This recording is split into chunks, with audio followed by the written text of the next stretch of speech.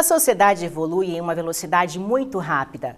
E diante disso, o direito e as leis são modificadas e atualizadas constantemente para se adaptarem às mudanças sociais. Para acompanhar essa constante mutação, o operador do direito precisa estar preparado. Nesse sentido, com um plano de educação eficiente, inclusivo e com a realização de diversas ações voltadas para capacitar a advocacia, a Escola Superior da Advocacia de Mato Grosso do Sul, a ESMS, tem a missão de levar conhecimento científico para os mais de 20 mil advogados do Estado. E para falar um pouco mais sobre a importância na formação e no aprimoramento do advogado, hoje eu recebo no programa OAB em Debate a diretora da ESMS, professora doutora Lauane Braz Andrekovski Volpe Camargo. Doutora, seja muito bem-vinda ao nosso programa. Muito obrigada, eu quero agradecer imensamente a você, nossa colega advogada, nossa presidente da Comissão de Igualdade Racial, esse convite, essa oportunidade para podermos falar da escola. E me permita também parabenizar o presidente Paulo Correia, o nosso professor Benhur, que é o diretor também da Escola do Legislativo, pela excelência dos programas aqui da TV Assembleia. Doutora, falando um pouquinho mais da Lauane, então, aquela menina que chegava em, na, da escola, em casa, que ia para a garagem e brincava de ser professora. Hoje, se tornou referência aí no direito de família e uma docente por amor? Claro, obrigada pelas gentis palavras e por lembrar dessa memória tão boa. Né? Eu acredito que a paixão pelo estudo, a o amor também pela justiça e essa sede de conhecer e compartilhar conhecimento fez né, com que a vida unisse a docência e a advocacia. Então a gente tem essa vida diária, essa rotina que às vezes é intensa, ela é mantida realmente por amor. E ser professor é um dom, né? Não é. há assim, tem profissões que você estuda, se prepara e você se torna bom naquilo. Mas a, a docência é diferente. Olha, a docência, ela é uma realidade que quando a gente entra em sala de aula, parece que todos os problemas desaparecem. Né? Então, aquele contato com os alunos, a troca de conhecimento. Eu acredito que essa união da advocacia com a docência me obriga a estudar todos os dias.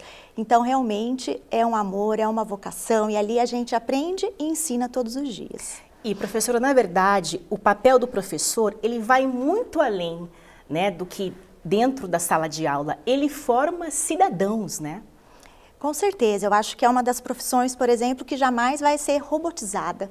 Né? Nós estamos vivendo uma época em que muitas profissões aí podem acabar, né, em razão dessa automatização, da inteligência artificial, mas a docência não, porque realmente um professor vocacionado que ama o que faz, ele ensina não só o conteúdo pedagógico para o aluno, mas a gente troca as nossas experiências, as nossas vitórias e as nossas angústias. Me permita aqui fazer um parênteses. É, eu me formei na UCDB é, e tive direito de família com o professor Delmiro, ah. que é um amor né, de ser humano. Mas eu queria muito ter tido a oportunidade né, de ter é, estudado com você, porque assim, você é referência hoje, né, no direito de família, na própria universidade, você desenvolveu teses, inclusive, né, professora?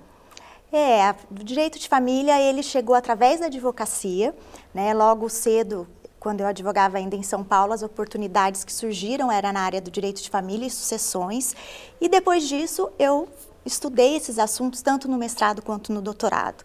Então, são temas que me encantam e a gente não para de estudar nunca, né? Então, venha para uma aula da ESA, nós faremos um curso muito bacana a semestre que vem sobre direito de família e sucessões e podemos estar juntas. Hoje advogada, mas antes tinha um sonho de ser jornalista também, né? É verdade. Nossa, é uma alegria estar aqui no estúdio, foi a minha primeira opção e aí não foi para frente, mas eu admiro muito o trabalho dos jornalistas e eu acho que a informação, né, ela é comum tanto à docência quanto ao jornalista, né? Então a gente sempre aprende com vocês. Professora, da docência para a diretoria da ESA. É, a senhora já teve uma experiência, já foi coordenadora de comissão, já foi vice-presidente da ESA também, mas hoje a presidência está sob sua responsabilidade. Como que está sendo esse desafio? Olha, é um desafio que eu não pude recusar em razão do convite que me foi feito pelo uhum. presidente Bito Pereira. Já sabia que seria muito difícil, porque nós estamos sucedendo o nosso amigo, professor, atual conselheiro federal, Ricardo Pereira, que fez um belíssimo trabalho. E eu imaginava que ser da ESA, ou trabalhar na ESA, como foi lá no passado, em 2006, 2007, quando eu auxiliei o Dr. Otton, fosse algo mais acadêmico. E hoje a gente percebe que a OAB cresceu demais. Nós temos aí 20 mil advogados, 33 seccionais. E esse trabalho ele tem se tornado agradável porque nós temos um time. Nós temos o João Delmondes, que é o vice-diretor da ESA, nós temos o Marcelo Radaeli, que é secretário-geral, nós temos a Ana Bia Maxud, que é secretária adjunta, e o Abner Jacques, que é o diretor tesoureiro. Então, este time tem facilitado muito na missão que nos foi dada, no cumprimento dessa missão. É, a ESA tem um papel fundamental dentro da OB, né? ela é um dos braços da instituição. É, e qual que é o papel da ESA na construção da parte acadêmica do, do advogado? Então, Silvia, né, nós fizemos a faculdade de Direito e sabemos bem que na faculdade de Direito ela não forma advogados. Lá nós saímos bacharel de Direito. Então, dentro, quem faz a faculdade de Direito pode virar advogado, juiz, delegado, promotor. A ESA, ela entra exatamente aí. A ESA, ela tem o papel de ensinar a advocacia para o profissional. Então, o profissional, ele termina a carreira, a faculdade, muitas vezes ele não teve a oportunidade de fazer um estágio, ou se teve, nunca é o suficiente. Então, a ESA, ela tem como papel principal ensinar os advogados a advogar. E, na verdade, não basta só concluir né, a graduação. A gente sabe que o direito como a gente falou no início, né, ele vive em constante mutação. Todo dia uma lei, todo dia uma jurisprudência. Então, é necessário que se tenha essa atualização, né, essa busca pelo conhecimento, ela precisa ser constante para ter o diferencial no mercado, né? Exatamente. Se nós pensarmos que hoje nós temos mais de um milhão de advogados do Brasil, só sobreviverá aquele que for diferenciado. E a diferença está justamente na capacitação, no estudo, atualização das leis. A gente precisa diariamente saber o que, que os tribunais pensam, o que, que os tribunais superiores decidem, o que eles falam muitas vezes vira, né, vincula o juiz, vincula o advogado, tudo para quê? Para que a gente possa atender o nosso cliente da melhor maneira possível. E a ESA tem justamente este papel, contribuir com o aprimoramento do advogado, seja o jovem, seja o advogado que já está atuando há bastante tempo e que todo dia precisa se atualizar. É isso que eu ia perguntar, professora, porque é, nós temos aí os jovens advogados, né? que até cinco anos ainda é considerado um uhum. jovem advogado. Então, esse trabalho que a ESA desenvolve dentro da OAB, ele é focado para a jovem advocacia e também para aqueles que já estão há muito tempo na classe, em atuação. Exatamente, nós não temos um foco específico, nosso público é o advogado. Então a gente tenta dividir as nossas, os nossos cursos para atender todo mundo. Então a gente tem ali, na verdade, os nossos cursos, eles são temáticos por área do direito. E os nossos alunos, eles podem ser tanto jovens como os advogados mais experientes o nível né, do conhecimento que a gente passa, ele é um só. A gente sempre busca a excelência. Então, seja para atender o jovem, seja para atender o advogado mais experiente. Professora, é, estamos aí mais ou menos em cinco meses de gestão. É, algumas ações já foram desenvolvidas, outras estão aí, né, a todo vapor. É, hoje, o que, que nós temos, né, de, de, de conteúdo, de trabalho disponível para a advocacia? O, trabalho da ESA nesse sentido? Olha, é, a gente estava contando esses dias, nós temos 26 semanas de gestão. É, parece que faz muito mais tempo, né? Porque a gente tem trabalhado muito nessa pós-pandemia. E nós já realizamos 33 cursos. Então, assim, a ESA ela trabalha em parceria com as seccionais, nós temos 33 seccionais, em cada seccional nós temos uma coordenação da ESA do interior. Depois disso, nós trabalhamos em parceria com as comissões da OAB. Né? Você bem sabe disso. E as comissões, elas já ultrapassam o número de 100 e elas estão muito ativas. Então, nós temos muitos cursos da ESA que são feitos em parceria com as comissões, além dos eventos realizados pela própria Escola Superior da Advocacia. Então, já estamos aí com 33 cursos já realizados, com muito sucesso. Já fizemos em Três Lagoas, Coxim, Jardim, Dourados e queremos seguir aí em todo o nosso estado. Mais de 100 comissões. Como que a ESA se planeja diante de tantas demandas, professora? Porque acho que todo dia deve chegar alguém lá, quero fazer um curso. Como é que funciona, né, esse esse trajeto todo? A ESA, ela é uma escola superior. É, e às vezes eu me imagino como aquela diretora de escola de quarta série. Muitas vezes essa é a nossa função, de realmente encaixar né, essa vontade de trabalhar, essa iniciativa de todas essas comissões num curso superior. Então nós temos, precisamos aí de tempo para organização, para divulgar, né, para que essa informação chegue ao advogado. Então o nosso papel junto com as comissões é esse, eles vêm com a ideia, vêm com a iniciativa, né, com belíssimas iniciativas, e aí a ESA vem justamente para trazer esse tom pedagógico, esse tom científico, para que não seja um curso só técnico. Mas a ESA, ela, inclusive, quando a gente atende todos esses requisitos, professores com especialização, alunos presenciais ou à distância, mais presentes, a gente certifica. Então, a gente tem todas essa, essas regras que a gente tem que seguir e observar. Muito assunto para falar da ESA. Eu vou chamar um comercial agora, professora, Sim. e depois a gente volta. No próximo bloco, continuamos esse bate-papo com a diretora da ESA para falar sobre educação, o papel da ESA nessa construção da advocacia. A gente volta já.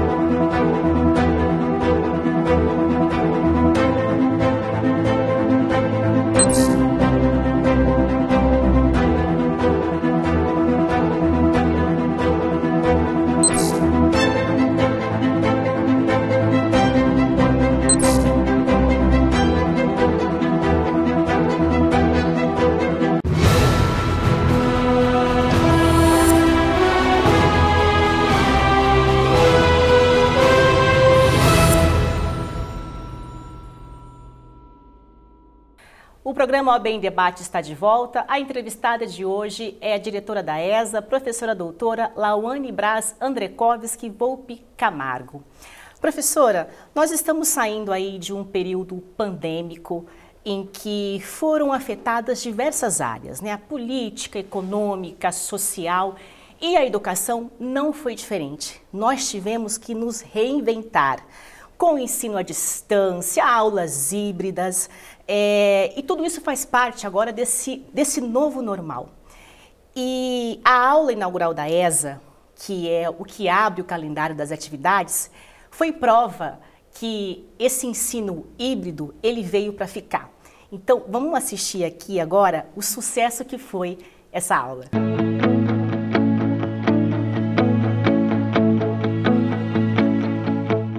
Após dois anos de aulas e atividades à distância, a Escola Superior da Advocacia de Mato Grosso do Sul, a ESA, retomou suas atividades presenciais com a tradicional aula inaugural. Eu gostaria que todos os professores que estão presentes nessa sala ficassem em pé por 10 segundos.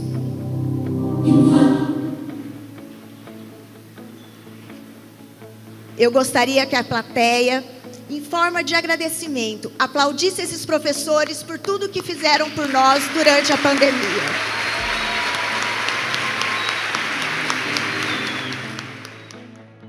O evento reuniu mais de mil advogados, acadêmicos e operadores do direito.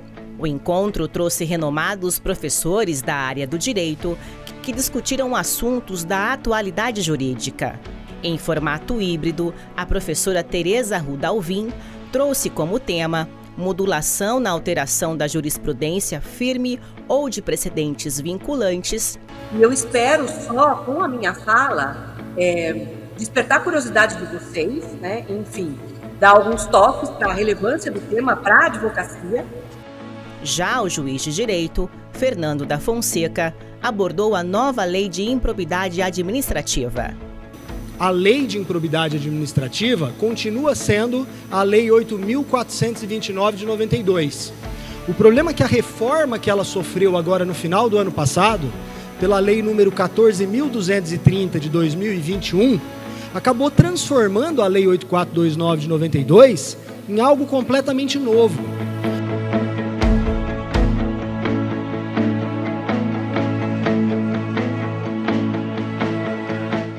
Muito obrigado e declaro encerrado a nossa aula inaugural de 2022.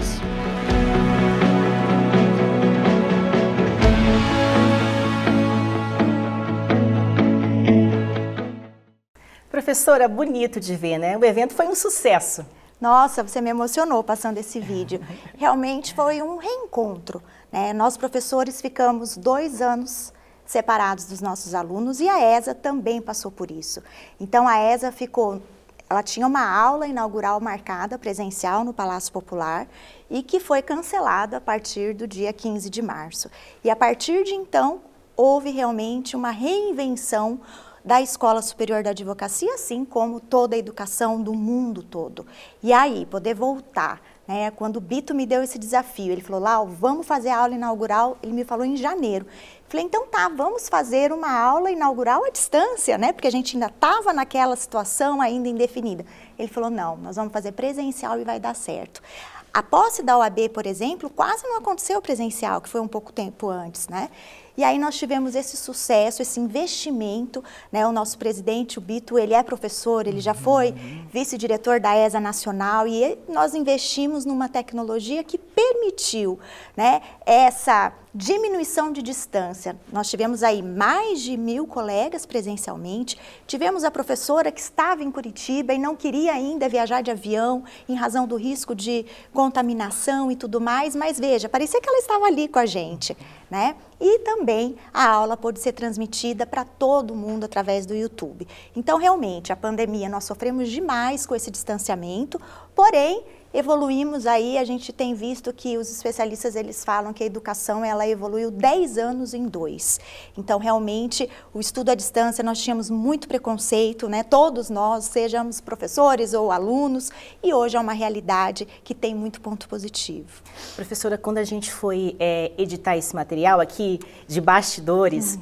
a, qual fala colocar? Então, quando é, eu assisti esse trecho, eu tive a sensação de abraço, sabe? De estamos de volta. Então, essa foi a intenção mesmo. E eu senti você ali embargada, né? Todo mundo levantando, aplaudindo, porque os professores tiveram um papel fundamental nesse período. Né? Graças a Deus, hoje nós estamos aqui, estamos vivos, né? estamos vivos, somos privilegiados por estar aqui e tivemos que nos adaptar. Na educação não foi diferente, eu acho que esse formato, ele veio para ficar, não tem um, retrocesso, né, professora? Não, não, de jeito nenhum. Acredito que o, a troca do presencial, ela é maravilhosa. Né? Nós sentimos muita falta, os nossos colegas advogados querem os eventos presenciais.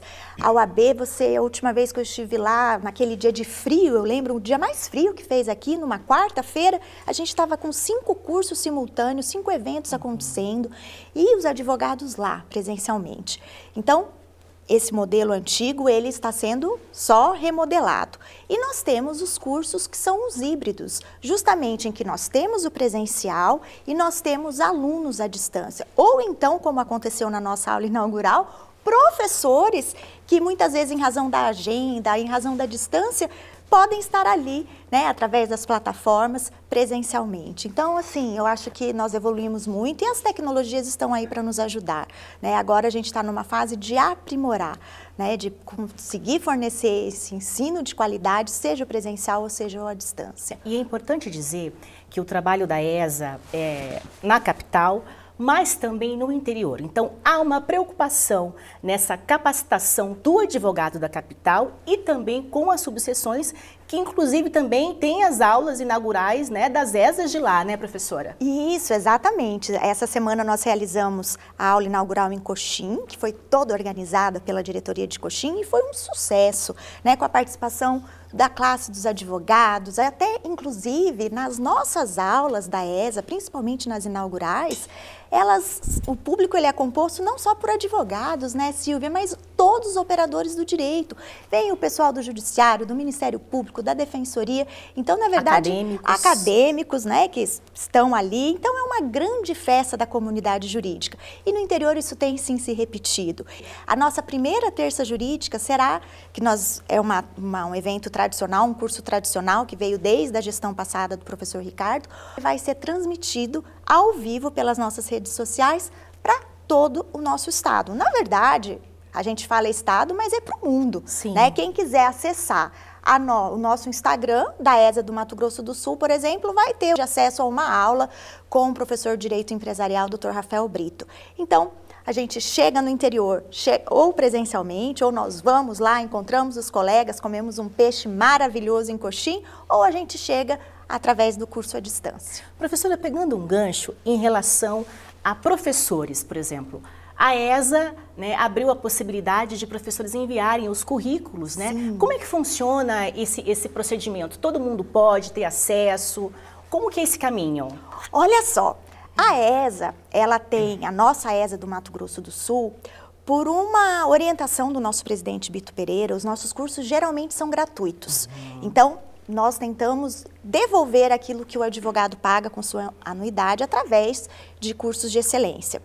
Mas, por outro lado, os professores que trabalham conosco também prestam um serviço voluntário. Então, a gente só tem a agradecer a classe de professores que vem participa dos nossos cursos. Qual é o requisito para ser um professor de qualquer universidade superior no Brasil? Ter um curso de especialização. Então, esse é o requisito né, que nós temos na ESA. Ter essa vontade de dividir o conhecimento, ter um curso de especialização e vir né, para a ESA. Então, na verdade, esse é o único requisito que nós temos. E nós temos, por outro lado, uma parceria que a gente faz com a Comissão da Jovem Advocacia. A Comissão da Jovem Advocacia é muito ativa. E lá, os advogados, por serem recém-formados, ainda não tiveram tempo suficiente para concluir um curso de especialização. Nesse caso, dos eventos feitos em parceria com a Comissão da Jovem Advocacia, é possível que um palestrante venha dar aula, dividir seu conhecimento, como se fosse um trainee. E aí ele não precisa ter concluído o seu curso de especialização. Porque é importante a gente dizer, a, esse, aproveitar o seu espaço, que quando a gente tem um curso feito pela ESA, o acadêmico receberá um certificado validado de uma escola superior que pode ser aproveitado junto às universidades, por exemplo, para comprovação de horas extracurriculares. E da mesma maneira, os professores que vêm contribuir através desse trabalho voluntário com a ESA também receberão certificados de professores que eles poderão utilizar, por exemplo, em concursos públicos e tudo mais. Né? Então, em razão disso, a ESA do Mato Grosso do Sul, assim como as ESAs do Brasil inteiro, elas devem observar algumas regrinhas que são consideradas pelas escolas superiores. Esses cursos, é, a maioria são presenciais. Com esse novo formato que a gente está vivendo agora, ele também vai ser nesse formato híbrido, EAD? Como é que vai funcionar, professora? Ah, excelente pergunta, porque é importante a gente diferenciar. O curso presencial é aquele em que o aluno está presente, em que o aluno pode interagir com o professor e que a presença do aluno é controlada ali fisicamente. Essa modalidade nós já conhecemos bem. A grande novidade veio com os cursos à distância, que podem ser feitos na OAB. A gente tem uma plataforma da própria ESA, da OAB, que é o Engagement. Temos o Zoom, temos o Google Meeting, que são os cursos à distância. Então, o professor está na sua casa, no seu escritório, os alunos também estão na sua casa, uhum. e aí a gente faz um curso à distância. Esses cursos também estão sendo realizados pela ESA e também tem um controle de presença que é feito dentro dessas plataformas. O grande desafio, Silvia, é o curso híbrido. Por quê? O curso híbrido, o professor ele vai estar aqui presente, ele tem alunos que estão ali à sua frente, que nós vamos ter técnicas pedagógicas de ir, conversar perto do aluno, tirar dúvida, porém, nós teremos alunos em casa também. Então, da mesma maneira como as universidades estão avançando e aprimorando essa nova técnica, a ESA também. Porque uma coisa, nós estamos aqui dentro de um estúdio, nós estamos sentadas, nós temos várias câmeras, isso garante a qualidade. Porém, o um professor em sala de aula, pelo menos no meu caso, eu confesso para você que eu gosto de falar e dar aula zanzando de um lado para o outro. Isso já não é o adequado para um curso onde eu tenho alunos assistindo numa tela de computador. Imagina comigo, a gente trabalha muito com PowerPoint, né? Então eu coloco aqui um material para ser observado e facilitar a compreensão do conteúdo pelos alunos que estão aqui presencialmente. Quem está em casa vai assistir espelhado. Então, vejam, são técnicas que nós precisamos desenvolver ainda. Hoje, na ESA, nós ainda não fizemos um curso dessa natureza, híbrido, em que a gente possa dizer que o aluno que está em casa receberá um tratamento com excelência como o aluno que está em sala de aula. O que nós temos hoje são cursos presenciais que são transmitidos ao vivo, mas ainda não conseguimos ter essa, essa troca né, do aluno que está em casa com o professor em sala de aula. Mas eu tenho certeza que ano que vem nós vamos conseguir um estúdio e vamos adequar aí as nossas tecnologias e técnicas para que a gente possa ter o famoso curso, curso híbrido dentro da escola superior. Eu acho que assim, é, a tecnologia veio para ficar. Esse formato de aula à distância, esse formato híbrido também. O desafio agora é nos adaptar a essas ferramentas, uhum. a essas plataformas, né, professora? Eu acho que é isso, né? É você poder levar com qualidade a aula, né, para o outro que está do, do, uhum. né, do outro lado da telinha, mas com qualidade, com conteúdo. Para a gente fechar, eu queria que você falasse para nós sobre esse grandioso Congresso Nacional que nós vamos ter. Ah, eu gostaria de fazer esse convite no dia 2 e 3 de agosto, mês em que comemoramos o Dia do Advogado, que comemoramos o Dia do Ensino Jurídico. A Escola Superior da Advocacia do Mato Grosso do Sul, em parceria com a Comissão de Processo Civil da OAB Nacional, com a ESA Nacional e com a Universidade Federal do Mato Grosso do Sul, realizará o Congresso de Processo Civil Circuito Nacional. Vai ser um lançamento de um projeto que acontecerá no Brasil inteiro e a primeira etapa será aqui em Mato Grosso do Sul, a convite do nosso presidente da Comissão de Processo Civil Nacional, Dr. Pedro Miranda. Então, nós teremos dois dias, dia 2 no Glauci Rocha, no período noturno, e dia 3, manhã, tarde noite. Campo Grande, né, no caso, será a capital brasileira do processo civil. Teremos grandes professores aqui, seja com renome nacional, podemos citar professor Cássio Scarpinella, Luiz Vamber, Fred Didier, Medina e professores maravilhosos aqui do nosso estado. Então, bloqueiem a agenda, separem esse dia, porque realmente será um curso que ficará para a história. Isso que eu ia falar, né? Nós teremos aqui pratas da casa preciosas, né? Nossa. né? Conhecedoras do processo civil. Com certeza. Nós vamos ter a professora juíza também, a doutora Raquel, nós vamos ter o professor advogado doutor Newton, Luiz Henrique Volpe Camargo, o Bito, enfim, o João Grotti da Comissão de Processo Civil. São professores processualistas do nosso estado, doutor Olavo também da Universidade Federal. Nossa, são 36 expositores. Então, não dá para eu falar o nome de todo mundo, né? mas será, olha só, mais uma vez, um evento gratuito, oferecido pela OAB do Mato Grosso do Sul para todos os advogados e, na verdade, operadores do direito do Estado. Então, estão todos convidados, vai ser gratuito, mas nós estamos fazendo uma campanha que é importante a gente dizer. Nós vamos pedir para que os participantes levem um kit higiênico por quê? Nós vamos doar esse material para a Casa da Mulher Brasileira. Né? Isso foi uma ideia de uma acadêmica, viu? Que tava, a gente estava conversando, ela falou, professora, nós visitamos a Casa da Mulher Brasileira e lá elas estão com essa necessidade. Então, nós aproveitamos e vamos fazer essa campanha também para ajudar a Casa da Mulher Brasileira e agradecemos o apoio da doutora Carla Stefanini e da professora Andréia Flores, que está nos ajudando nesse movimento. Professora, quero aqui agradecê-la por estar conosco. É, foi um prazer recebê-la aqui no nosso estúdio. Obrigada. E muito obrigada pela sua presença. Eu que tenho a agradecer e um grande beijo. Bom, o programa OAB em Debate é uma parceria com a Assembleia Legislativa do Estado.